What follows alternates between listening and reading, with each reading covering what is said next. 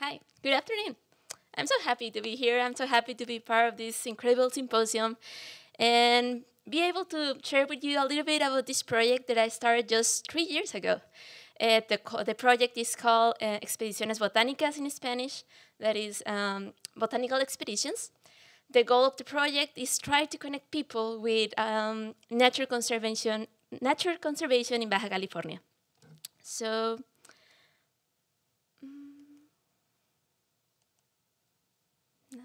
think it's not working. Not working. Okay, now it's working. Thank you. Um, so, 8% of the California floristic province is actually the northwest part of the Baja California state in Mexico. So, in this orange area, right here, right here, you're able to find around 1,686 uh, native species of plants and 447 of them are endemic to this orange uh, part. The whole uh, California floristic province is considered a biodiversity hotspot due to the high diversity of um, plants and animals that lives here, and also the high number of endemisms, and how threatened um, the biodiversity and also the habitats are in here due to the activities of the, the humans and change of land use. So, okay, yes. So the project is based in this area in the southeast part of Tijuana. Is in red I marked all the trails that um, we use to botanize, and I wanted to, to just uh, take a look to this uh, image uh, from the satellite from this year. You're able to see that almost Tecate is connected with Tijuana um, right here by concrete, and also Rosarito to Tijuana. And this is how the cities now look like in the Northwest state. And that's why I consider the place where I do the hikings the last refuge to all the wildlife and all the plants. Because, I mean, it's the only part that we still having like this kind of uh, chaparral and scrub, uh, yeah, coastal scrub. So if you remember this image and just go back in time for 30 years and go to the next slide. Yes. Okay, this is how the Northwest used to look like. As you can see, the cities were not connected with concrete, and the way that we are development is develop all these cities is not sustainable at all. Um, so now we don't have this kind of natural habitat, and if we take a close, closer look to some emblematic hills, uh, such as Cerro Colorado, that is in the middle of Tijuana, you're able to see that just 30 years ago, it was connected with other uh, natural areas as uh, Cerro San Isidro. And now Cerro uh, Colorado is surrounded by houses and industries and shops and concrete. So this, even that this cerro is um, a conservation area of Tijuana the way that we are developing is not sustainable. And it's not the only exam example. If you go to Ensenada or even to Rosarito or Tecate or San Quintin, the way that we are developing cities around uh, all the state is similar. So you're able to see this other place, Cañón de Doña Petra. In just 20 years, we changed all the canyon and we built a lot of houses around. And this is how it looks like right now. Uh, this is the reality I see like every day uh, in the image, uh, in the satellite images. It's a reality that you are able to see. But uh, I am also an, an, environmental consultant, and since 2018, I have a Ecotono Consultoría Ambiental in Tijuana, where I give advice to, I mean, to industries, to people that want to change the, the lands to develop um, big um, houses and stuff. So I give them advice, advice to try to make these kind of projects more sustainable. But at the end, the conclusion is the same. The actual development trend to the, of the Northwest in Baja California is not sustainable. So when I started this project about Expediciones Botánicas, um, the goal was to try to conserve biodiversity in all the state, but more urgent near the cities. So with all this development scenario, um, I say, okay, there's something I, I, I must be able to do. So that's why I start uh, doing these expediciones botánicas. So expediciones botánicas, um, we go for a hike, maybe four or five uh, miles. And I talk. I talk about non-native plants, about invasive plants, and of course, a lot about native plants. Uh, I show them like cool stuff about them, and I talk about pollinators, the uses, the actual threats, and we have fun. The idea is that pe the people have like good memories on the chaparral on the, or the coastal scrub with friends and family, and somehow they start like being like connected with these areas that they are able to identify uh, plants and somehow they start love, loving these places because we need allies. I need allies. Um, more people interested in trying to conserve the Baja California uh, biodiversity. So in order to be able to start like doing the expediciones botánicas, first I had to take uh, first aid courses in remote areas. It was a, a, whole process. It's not like for one day to another, and a lot of different kind of trainings. And I do also took more botany lessons. I went with Dr. Jon Rebman to see how he botanized uh, in the field with people to try to learn. At the end, this project is about collaboration. It's about seeing how other people is doing things and see what's working. And at the end, we, we all want the same. We want to conserve the, the biodiversity. So eventually, in time, I got all my all the stuff that I needed to get this credential to be able to take people to the uh, to the trails and hike and botanize. So of course we do a lot of iNats. Um, we we are convinced that's the only way to support current or future botanists from anywhere in the world. So I teach a lot of people how to use this app and to share their ob observation in the field. But I also wanted uh, to have other tools, that people have other tools to be able to connect with nature. So that's why I published this book last summer. The book is called Expediciones Botánicas, Bitácora para explorar el matorral costero. Uh, so if you were wondering why in so many pi uh, pictures of this presentation, a lot of people have this small book, is that book. It's because it's working. Somehow, this group book is a field guide. You are able to see a photo of the species. Uh, all the photo photos were taken by me. There's 213 species that people are able to identify on the trails on the Northwest Baja California. And not only identify them, they have like a space where they can write notes. So it's not like, okay, I saw you, I know you what you are. It's like take a moment and realize if the just take a look if the plant have like maybe fruits, a pollinator, if what is growing uh, on the sides, and try to make memories to remember and have like it's like an adventure book. Like you you are able to remember when when when where where you see the plan and how the plan was going. So it's working. The book is working. I'm very happy for this. And this is how the, the book look inside. Uh, you have like a small, uh, a lot of space where you can like feel, and and also you are able to know if a plant is aromatic or stuff. So people is trying like to connect with the plant in other uh, options, like they're able to smell it and stuff. So yeah, the book is working. It's another tool that is available. So as you can imagine, the the project start growing and I start taking um, more larger groups and mm, the project not only grow in the field. I mean, you are able to see like there's a bunch of people with me on the in the trail. Uh, I mean, maybe from January to March this year, I have taken around 200 people to the uh, to botanize with me. I know it sounds little, but the scope has been impressive. I mean, it's only me and trying to convince a lot of people that native plants are important, the biodiversity of Baja California is important. So as you can imagine, the project expands and, and grows. And eventually, like local newspaper were asking me to, hey, are you able to write a note about native plants? And I was like, okay, of course. And people start like sharing uh, videos on TikTok, Facebook, I don't know, social media about me, about the book, about the plants. And don't get me wrong, this whole uh, opportunity for me is talking about native plants. It's not about me at all. It's about put the, the focus, I mean, the, the attention in the native plants and about um, the opportunity to try to conserve them. So schools, uh, um, invited me to do small conferences. Eventually, the Secretaría de Turismo, the Secretary of Tourism of Baja California, uh, gave me some money to like funding to create a visitor center to Expediciones Botánicas. So now we are able to have like a nice place where we start the hikings and when we finish. This uh, small place is going to be uh, finished. Uh, I mean, the inauguration is going to be summer this year, and it's placed in the east part of Tijuana inside Rancho Casian. So yeah, the, the project continued growing.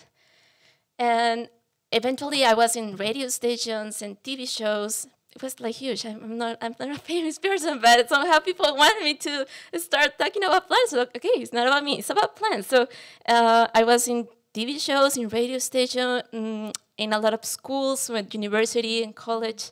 Um, a person from environmental activisms start asking me like, hey, and you are, are able to come to my event and give you a small talk, and I'm like, okay, of course, let's talk about native plants. And with all this is just highlight the collaboration. For me, it's the key for the conservation of Baja, the biodiversity of Baja California. And I want to highlight three um, collaborations that I think are the most important, uh, in, starting for the most recent. Uh, right now, I'm an, an, advisor of Terra Peninsular. Terra Peninsular is a, a, Mexican civil association committed to the protection of Baja California uh, ecosystems and wildlife. So now as an advisor, I'm able to help Dr. Alan Harper and Rosita Bustamante to achieve uh, the mission that they started 20 years ago, the, to conserve the ecosystems and wildlife. And me being able to give an advice, now we are able to, for example, find rare uh, plants inside inside the reserves as uh, uh, stellaris. And just, uh, they are outside, they have like a table, go and ask them about what are they doing, and consider visiting the reserves. And also, uh, Terra Peninsular and I are, we are trying to promote the conservation of the vernal pools, these unique and rare habitats that are, are very uh, threatened. Um, so yeah, just the, the first thing that I want to highlight, like the big moment from the botanical expedition um, project.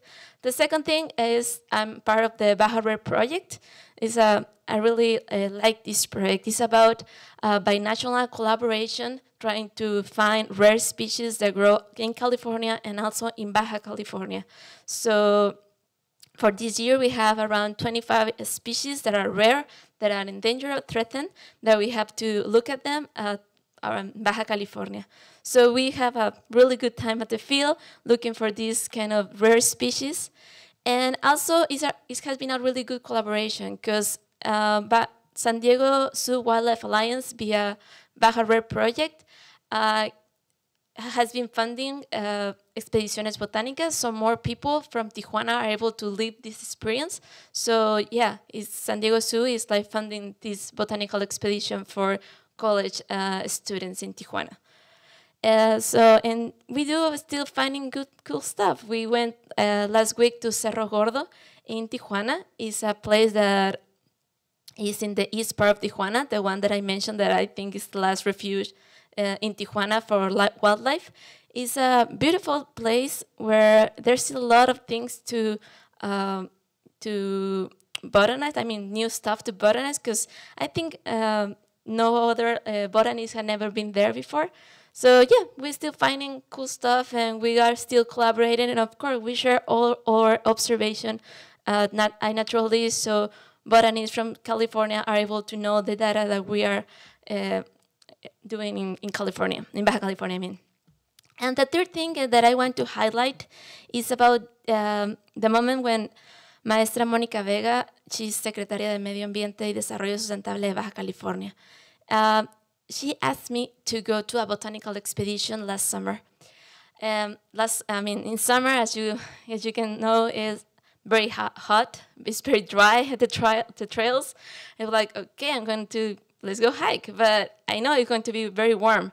But it was a great opportunity for native plants to have this person uh, at the trails, and we do the expedition. And I mean, almost all the annual plants are are gone. I mean, eh, eh, not, there's no annuals in that part of the year. You can see all the like landscape is yellow and brown, But I showed her at least one rare plant, the Monardella estoniana, that is growing on the trails. And I explained to her the necessity that we have to create a state norm uh, to protect native plants from Baja California. Uh, so we hiked for around four or five miles, and eventually she, she said, okay, I mean, I want to be part of this project, uh, and she made the norm part of the agenda. Uh, right now in Mexico, we only have the federal law to protect uh, native plants, the NOM uh, 059 Semarnat 2010, but it's only focused to protect endangered species in Mexico. Uh, so this is going to be like for all, only for the state of Baja California. So we need, uh, I really realized that we need a norm that protects species from a perspective uh, beyond borders to ensure the conservation of species in all the distribution. For example, the plant that I show you, the Monardella estoniana, have a binational distribution, it's a rare plant, and California is already protected because it's rare and also threatened. And in Baja California, it's not right now. So we need a norm that protects the species uh, in all the distribution. So um, when she told me about the good news, like, okay, let's do the norm, I'm, the norm, I was super happy. Like, okay, let's do this. But I was overwhelmed as well because I still don't know all the flora of Baja California. But I'm lucky and I'm very grateful because I have good friends who are good allies, good collaborators. And at the moment that I, that I asked Dr. Jon Rebman, that is sitting right there from here from the museum, I asked her like, hey, this is a huge, a huge project. I need help because it's uh, to make a norm to, for the protection of the flora of the native plants of Baja California. Immediately he, he, he says, just let's do it. I mean, and I was so happy. And then eventually he contacted me with Dr. Michelle Thompson, also from here from the museum, and we started making like a group uh, of um, botanists and experts, and we asked for help to Dr. Azula Vanderplank, to Dr. Exequiel Ezcurra, other bot binational botanists, Carlos Gonzalez and David Casian, and eventually we were start working in this norm. Uh, Dr. Jon Rebman compiled uh, the native species uh, list. So now we know we have 2,352 species of um, native plants in Baja California. And between us, we created uh, seven protection categories. And we created the endemic list of the plants are endemic for the state of Baja California, that the ones uh, endemic to the whole peninsula, and the there the ones that are almost endemic to the peninsula. I mean, they have population in California or in Arizona. So it's been like a lot of work, but now uh, we know that 32 uh, species of plants are presumed extinct or extirpated in Baja California and elsewhere. And 23 were endemic to Baja California. So that's the reality. In 100 years, something like that, we we already lost 23 species for the way that we are developing uh, the cities in Baja California. And maybe other reasons, but I think the principle is how we are development. So I see this state norm as a, a hope, a hope for species as Astragalus tijuanensis. This species is recently discovered in the east part of Tijuana, very close where I uh, do the, the botanical expedition. It was discovered by Dr. Jon Rebman and last year. And with this norma, this plant is going to be already uh, protected because uh, it's a rare plant, it's already threatened, and it's endemic to Baja California. So yes, it's a hope to try to protect this kind of species. So right now, um, we continue doing this kind of meeting, meetings. Um, the goal of this norma is to stop the loss of biodiversity in Baja California, protect rare, threatened, or endangered species, so about 20% of the plants that grows in Baja California are going to be protected in some um, category. And we also create a special protection uh, category protect plants that have uh, actual commercial use, such as the black, the white uh, sage. So we are continu we, we continue doing these meetings and working in the draft of the document that we hope to have uh, to publish uh, this summer. So Binational cross-border multidisciplinary collaboration has been key to achieve a perspective of the state of biodiversity in the whole California uh, floristic uh, province. But of course, it's just the first step. I, I, I, know we have to expand the idea of the norm and try to create a norm to also protect the wildlife in Baja California and try to expand the idea a little bit more and try to um, uh, also Baja California Sur creates a state norm to protect flora, uh, the plants and also the wildlife that lives there. Um, consider uh, going to Tijuana to a botanical expedition with me. The next one is going to be this Sunday, but uh, yeah, bad. But consider going to Tijuana, and we we are we have a lot of fun in the trail, and we botanize and identify plants, um, and continue sharing your iNats. They help us a lot to understand the distribution of native plants and plants that have a national distribution. And that will be all. Thank you very much for your attention. Thank you for the invitation. And okay, thank you very much. And my parents, my family, thank you very much for being here. thank you.